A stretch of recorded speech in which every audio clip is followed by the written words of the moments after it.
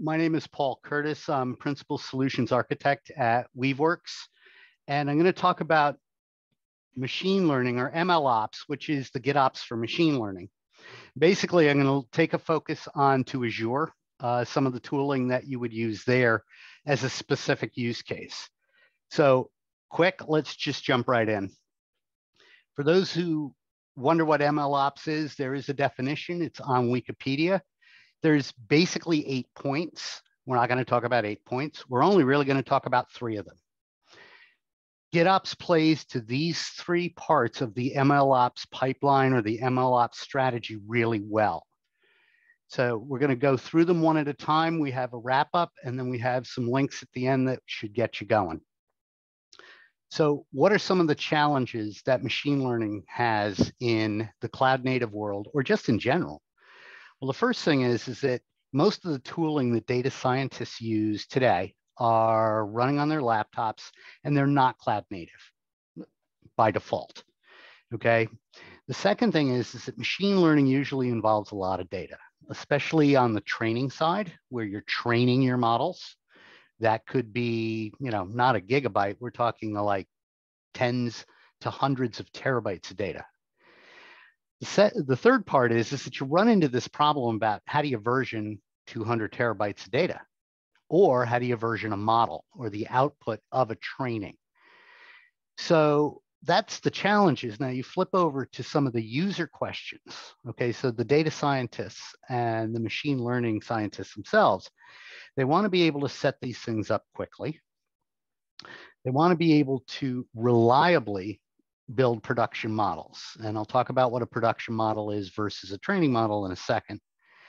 They want to be able to make these things reproducible.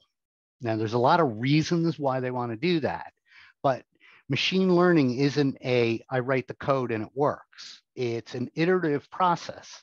So we try some things, we test some features, we do some parameters, we train the model, we test the model. And we do this until our model is good enough to be used for what it's for. And the last thing that comes into play that no data scientist ever says is things like governance and regulatory compliance. These are absolute necessities. So one fact I want you to walk away from this talk with is machine learning is all about storage. You have to be able to manage large data sets, models, parameter lists, features, code. And you have to be able to do all of this so that it's consistent, meaning that the version of the data that I trained this version of the model with came from this code and this set of features and this set of parameters. Now, Git is a really nice way to version almost all of that, but not quite all of it. So Keep in mind, storage is one of the things we're going to hit on. So the first thing, in the data science, and you train models. So what is a model? A model gives you the ability to ask questions and receive answers. In its simplest form, think of Amazon's recommendation model. You search for, um, I don't know, drain cleaner on Amazon. And you scroll down and say people who bought drain cleaner also bought plungers. That's a recommendation. And those recommendations are based on the buying patterns of millions upon millions of Amazon users. Same thing with Spotify and recommended choices or Pandora and a playlist where you say people like Pat Benatar. Okay, so those are models.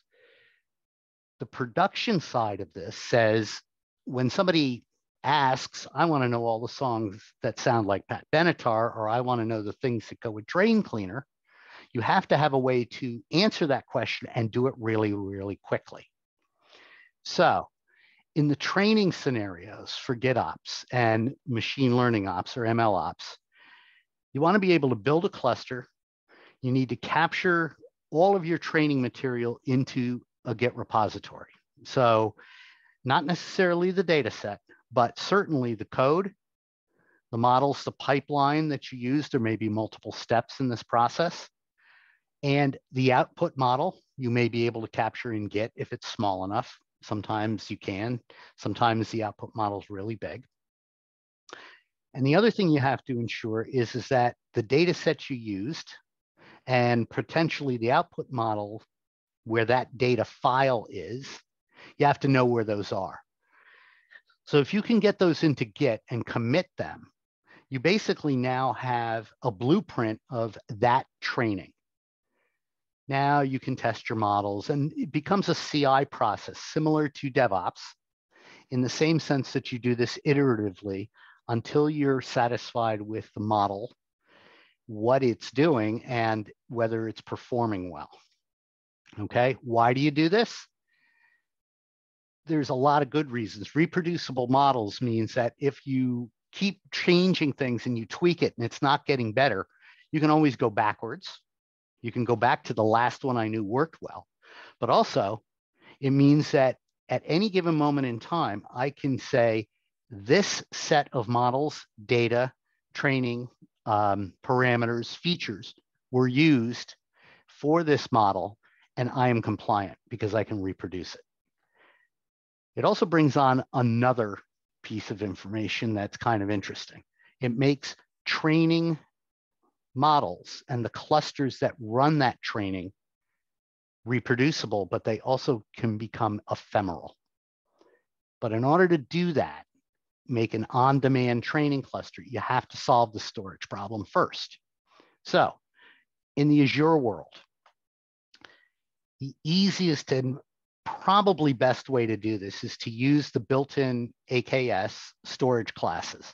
Now these are new things, okay? Azure has had different storage classes or different types of storage, premium versus not, versus file, okay?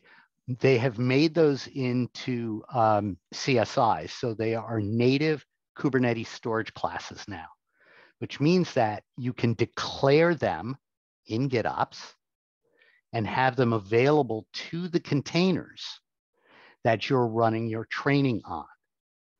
So now if I take my training model that I just described where I have all of my references in a single Git commit, I can also go the next step and say, hmm, I'll put the deployment descriptors needed to bring those storage classes online and make them available to the pods that are doing the training. Now I have a complete cluster, including the data needed to do the training. Just a couple of notes here. There are cases where you're not going to want to use the AKS CSI or the standard AKS storage. You may want to put storage outside of that if your data set is big. Uh, big data set to me, coming from my background, is a couple hundred terabytes. Okay, there's a there's a line there because it's easier to put it into archival storage and bring it into Azure rather than uploading it, let's say, from an on-premise location every single time you need it. So archive storage, blob storage is a good place to put that. One of the things that your pipeline does is copy the blob storage into the CSI driver so that that data is available. Uh, another note, these kinds of things need to be versioned as well. So data sets, big ones, typically don't change often, but the models will. The models will change each time you do a training. What you need to look at here is using a file naming, a directory naming, a bucket naming, a blob storage naming convention to uh, version your data sets and your models. So that goes there. Now we're going to move on to some of the tooling. This is now going from training to training and production. ML ops, you want to be able to have declarative machine learning tools tools that can be done declaratively. And if you just watched Cornelia's demonstration of Weave GitOps, when you think of the code that she deployed and the application that she deployed, think of ML ops where you're not only doing that, but you're also deploying data to go with it. So having storage classes of known quantities, having build pipelines that are declarative, and I mentioned three here on the slide, that I know work in AKS. If you can write a declarative statement like a manifest to not only attach that storage, but to mount it into the pod that's doing the training You can use the exact same developer's path that Cornelia just demonstrated in the machine learning world as well. Now, that being said, most of the machine learning tools that data scientists are using on their desktop are now available as containers. Most have become, they're not necessarily cloud native, but they are containerized. Uh, for example, a tool like Seldon, which you can use multiple frameworks.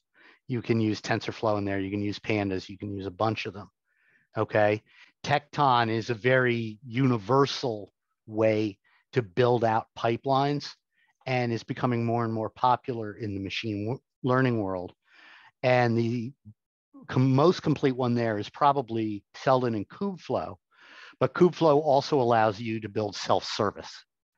So all three of these are declarative. All three of these can be GitOps, and all three of these can be used with the tooling that we're talking about here today.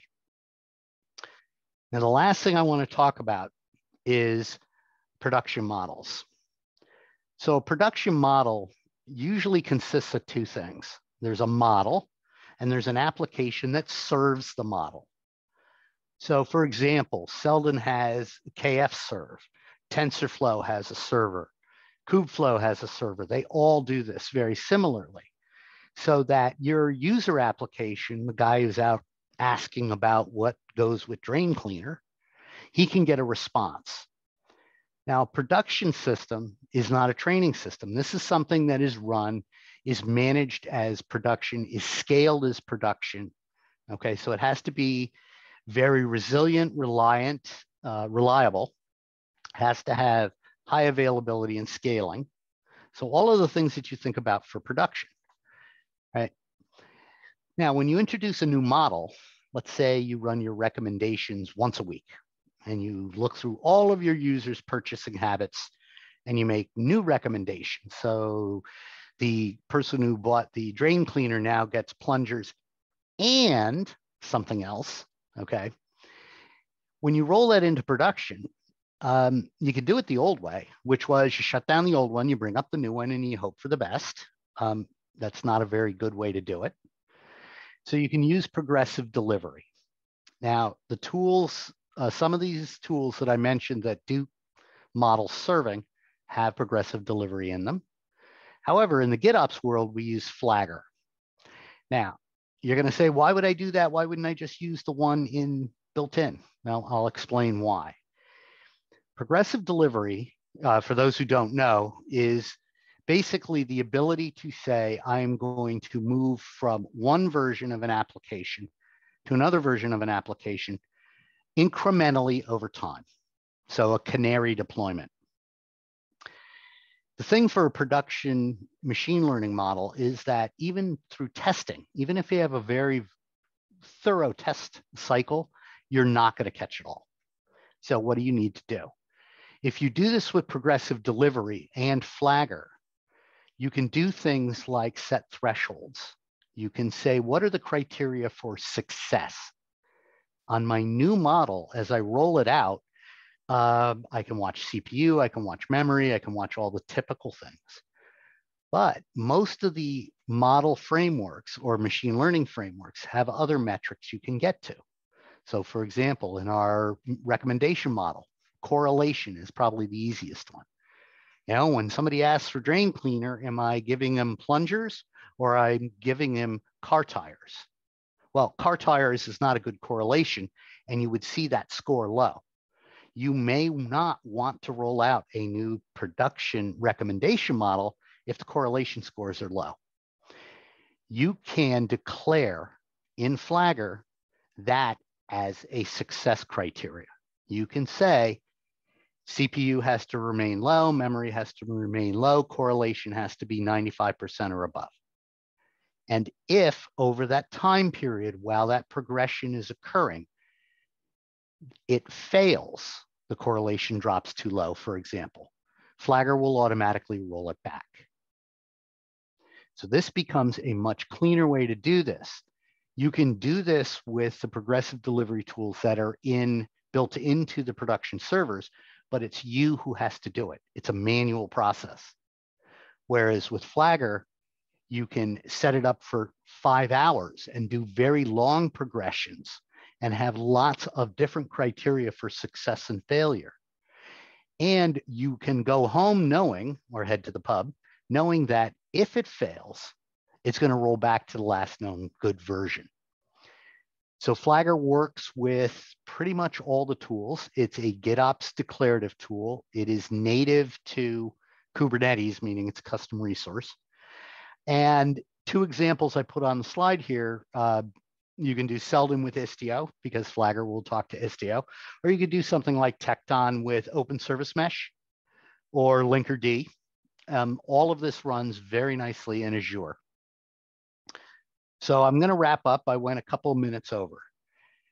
So I can't stress this enough. For those who are looking to go and containerize and bring their machine learning production into the cloud native world, MLOps is the way to do this because it gives you versioning, it gives you rollback, it gives you reliable, and it gives you reproducible. All of things you want in machine learning modeling right? But to do that, you have to settle your storage. You have to get that storage architecture down first. Azure has a couple of different ones. You don't necessarily have to use their native ones either. There are other third-party options that can help you here. Choosing your machine learning tools. As I said, most of the common ones used for production serving are declarative already a good portion of the frameworks used to train models are also declarative. And if they aren't, they can be declared using pipelines uh, and tasks and pipelines like in Tekton, or the same declarations in Seldon Core as well. So think ahead and say, these are the tools I want to use in production architect your repeatable training scenarios. Make your training of your model something that becomes a continuous integration that can be automated. Because the more automated that is, the less time data scientists are playing around with stuff that they don't really need to know about. What they need to do is tweak the model. They need to make sure the feature choice is right, the parameters are correct. You want them focused on that rather than all of the machinations to do the training. The more you automate there with MLOps, the better your production cycle is going to be. And you get the same benefits from MLOps that you would from DevOps. Okay. And lastly, for production serving, definitely you are going to want to look at progressive delivery tools. And Flagger is our choice. It's a Weaveworks engineers wrote it. Uh, it's part of the Flux CNCF project. So I would definitely go take a look this is where you want to look for GitOps enabled uh, tooling for progressive delivery. Uh, my contact information's here. I'll be around afterwards for questions and I've run a bit over, Damani. Sorry. No, you're fine. Where, where, where was that last picture? Where's that last picture from, Paul? Can you pull up that, last, last slide? Picture. Oh, on the on the slide. that is my Netscape Communications ID badge. Sweet. Wow. Sweet.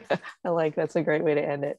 And uh, and Paul, thanks as always. So clear, so helpful. Really, really great, informative. Really hope that people uh, enjoyed that. And if anybody has questions, please ask them in the Slack. It's been really fun to uh, see all the questions and discussions going on in the Slack channel, especially in the last one where people are giving Cornelia some help when she got so stuck got stuck a little bit with the demo. But yeah, great, great there.